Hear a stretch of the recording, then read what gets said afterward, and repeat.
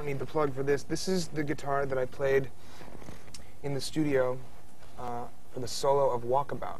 Mm. Walkabout is uh, a funky little number that uh, the rhythm is with the wah wah pedal. And uh, for the guitar solo, I wanted something really ugly sounding. And, and uh, we were talking about clean and dirty Right. effects and sounds earlier. Um, well, this guitar isn't intended for studio record recording, I don't think. And although it does have a jack, what I did is cranked it up all the way. I had a mic right here in this little speaker. There's a speaker built inside the guitar. And uh, it just sounds kind of bad. But bad in a good way.